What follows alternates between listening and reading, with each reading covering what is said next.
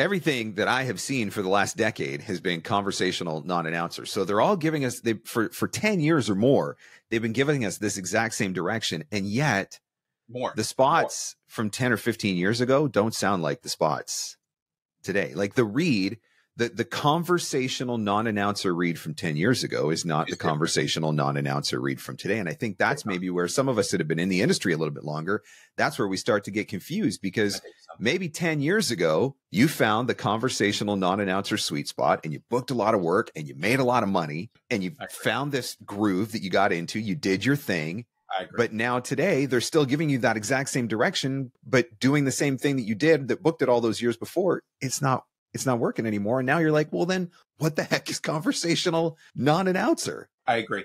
There were various efforts to take the word conversational and to, and to put all these synonyms on it, right? Where it became, there was conversational. And then for a while it was called, um, we don't want it to sound like a voiceover. Then it right. became, we want it to sound real. Then it became, we want it to sound genuine. Then it Authentic, became, genuine, we yeah. want it to sound like, uh, just a person off the street all of those things. And I think that was part of the drift away from what you just said very correctly that conversational 10 years ago would now almost be considered like an an, an announcer. I was going to say, yeah, yeah, that now they're telling you that it's an announcer. Right. I agree.